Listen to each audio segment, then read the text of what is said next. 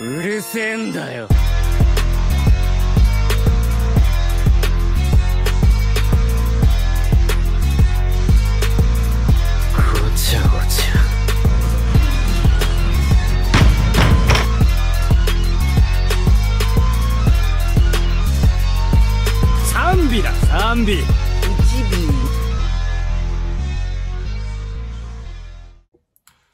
Watch this video all the way through and I guarantee you will get your aesthetic physique if you take all the tips and tricks that I will talk about in this video. Before we get into the main parts of the video, um, we need to establish that to uh, gain muscle and to get your aesthetic physique, you have to understand without one of the following three main factors, you cannot gain muscle and you cannot essentially reach the physique that you want to reach. These three factors are sleep, food, and training.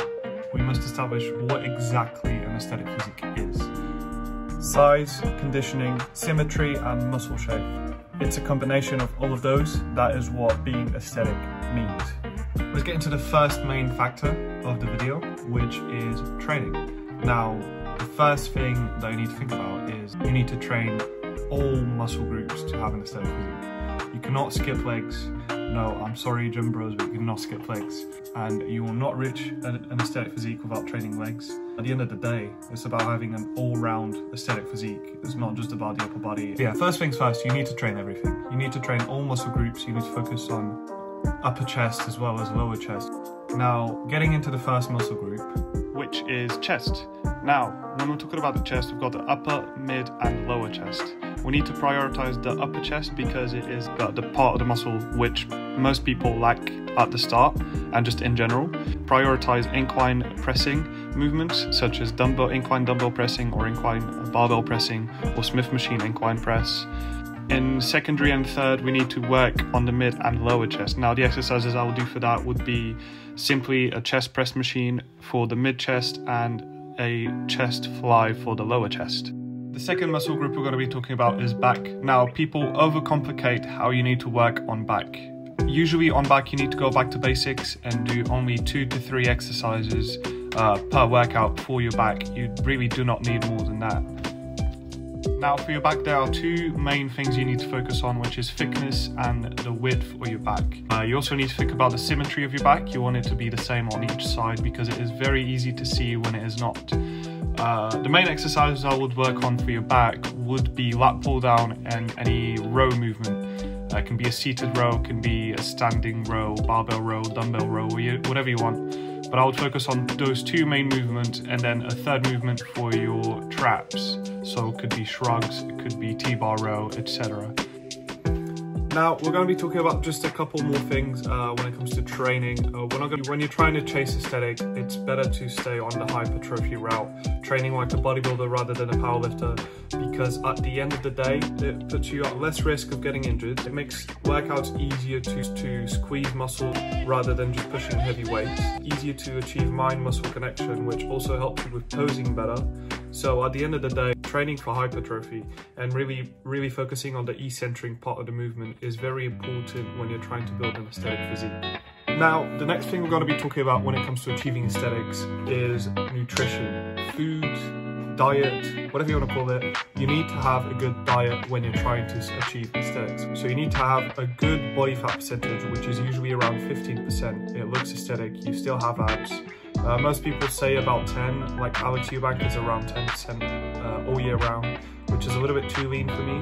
I usually stay at around 13, 14%. I would say to stay lean uh, and to from when you when you get lean from there your main gain or your lean bulk which is where you only go on a surplus of 1 to 200 calories maybe even 300 um, and you stay on that surplus eating only 2 or 300 calories above maintenance gain muscle but at a very slow rate in a way that will mean you're pretty much only gaining muscle and gaining almost no fat now, the main thing when it comes to nutrition is you need to be having enough protein. You need to be having the right foods uh, and at the right times. You cannot be having just fats and carbs to bulk, to uh, look fuller, whatever. You need to be having the right proteins because without enough proteins and the right proteins, protein synthesis will not occur, which means you will not gain muscle. You need to be having at least one gram of protein per pound of body weight. I would actually lower fats to increase protein when you're trying to see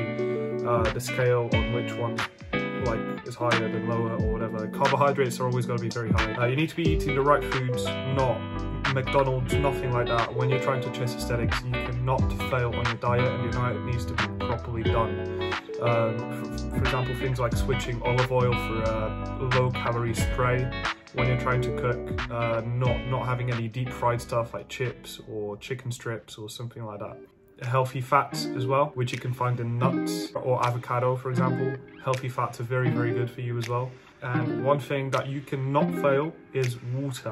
A lot of people fail when they're trying to stay lean. Uh, and one thing that helps with staying lean and continuing to gain muscle while staying lean is having a lot of water because at the end of the day, your body is made mostly of water and your muscles are made mostly of water. So the more water you have, the more water retention is going to take place, which means your muscles are to look fuller, they're to look bigger. Uh, but I would recommend two to three liters of water a day is usually a good amount to have. And another cheat code for uh, lean bulking is protein shakes. Protein shakes are very good. Make sure you get clear whey, like it is over here, clear whey or um, just whey protein normal whey protein. Uh, do not get mass gainers or anything like that because they are full of fats and full of carbs that you do not need. Yes, they have more protein, but it is not sustainable and it has way too many calories for the amount of protein you get in it as opposed to whey protein um, or clear whey. That is it for today's video. Uh, thank you very much for watching. There, there is more uh, that goes into chasing aesthetics and that goes into um, chasing aesthetic physique. Uh, however, if you guys want to see any other tips or any of the other things that I can talk about, uh, I can make a second part to this video uh, in the future. Uh, but for now, if you guys enjoyed this video, make sure to give a subscribe, make sure to give the video a like, and make sure to turn notifications on for my weekly uploads. Uh, and yeah, I'll see you guys in the next video.